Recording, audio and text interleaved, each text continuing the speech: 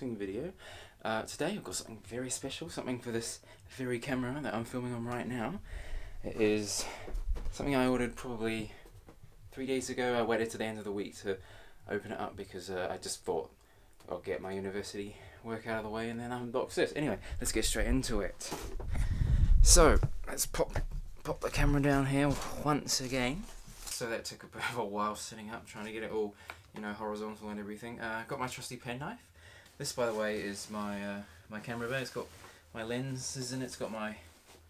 This is oh, what is this? I can't remember. My eight to sixteen millimeter Sigma. That's quite good for like a really wide angle shot. Like it's almost fisheye, but it, it corrects itself so it doesn't have the, you know, the fisheye effect and all that.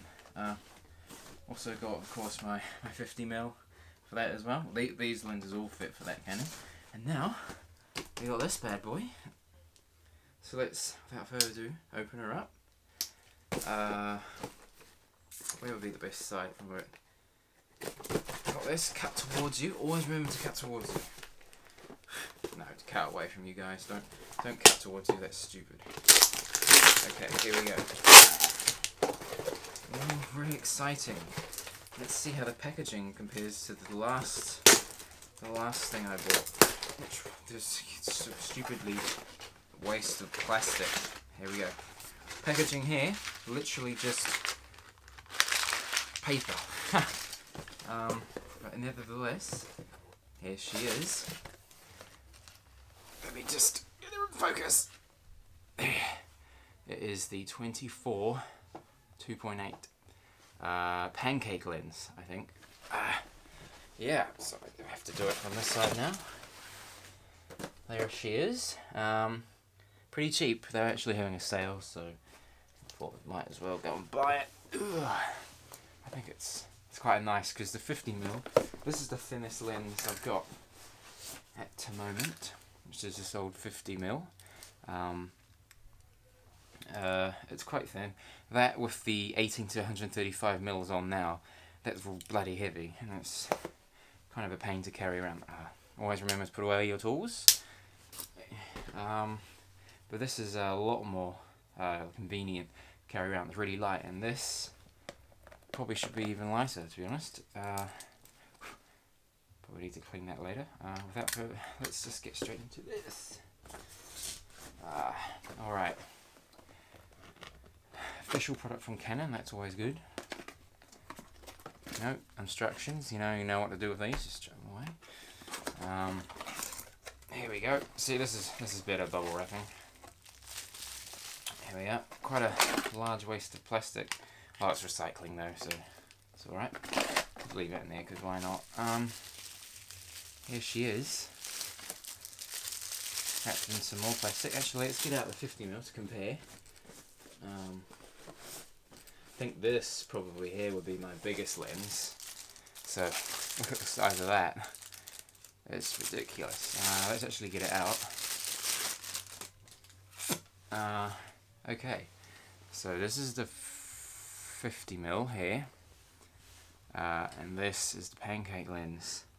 Obviously, they've got their um, lens caps on, but they are a pretty significant uh, difference, to be honest.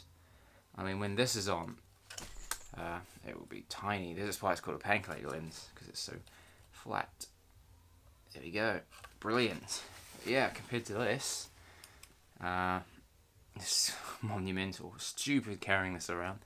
Weighs like, I don't know, like half a kilogram. Stupid. But you know, it does the job when you want wide, wide angle shots. You know, you gotta, you gotta take the gear.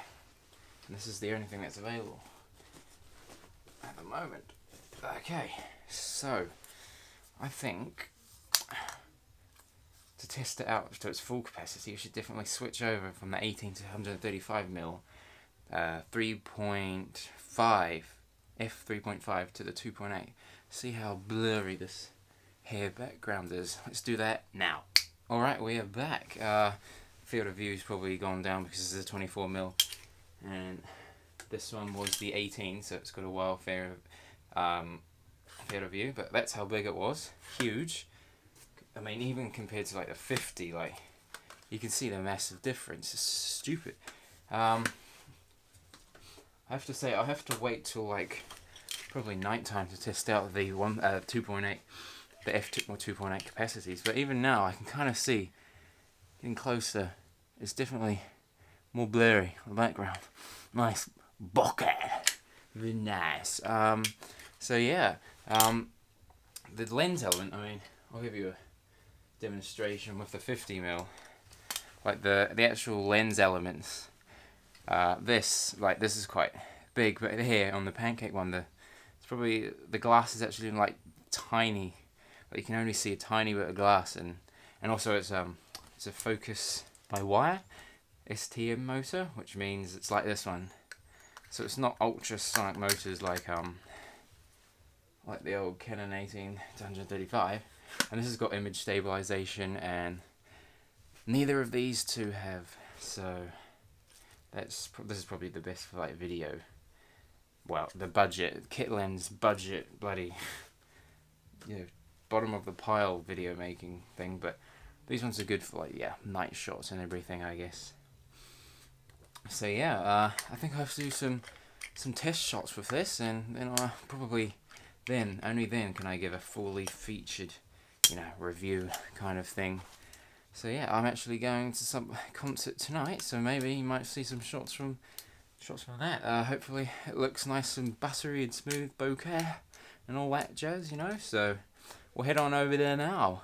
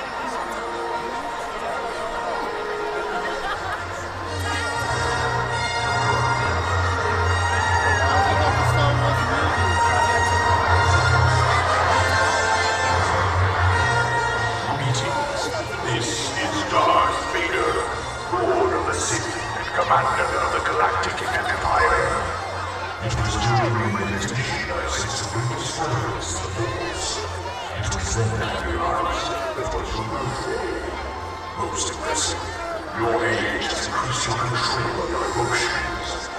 This will give you a clearer path to the dark side.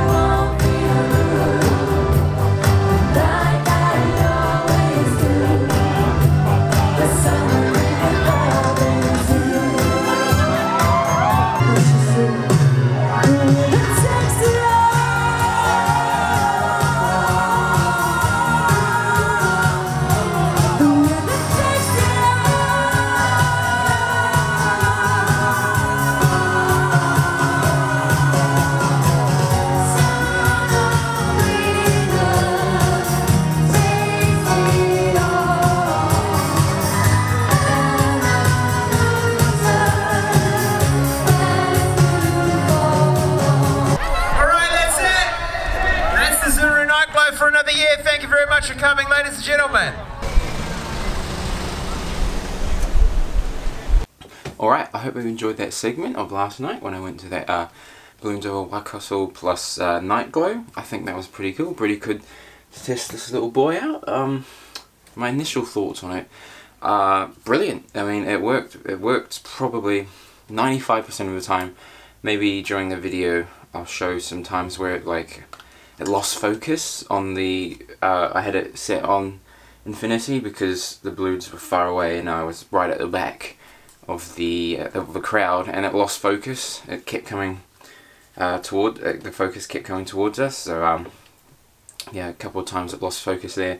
About apart from that I think it was probably held up held up to its bigger brother of the Canon 50mm this is uh yeah 50mm um, I think uh, the bokeh was pretty nice. Uh, the aperture blades made a nice little, you know, the little round circles. They're pretty good. Um, very, very light. Like, I noticed a heap of difference when I put this on. Like, it was so light carrying it. Like, I, I was holding my arm up the whole time. And it, it wasn't too painful as to, oh, I need to take down my hand. If it was that lens, or even that lens, or maybe even the 50mm, um, I think it would have definitely, I would have to take down my arm a lot more and, you know, lost, lost some footage. So if you're, you know, adamant on getting the best footage, like, uh, that you can, then obviously this, this would be,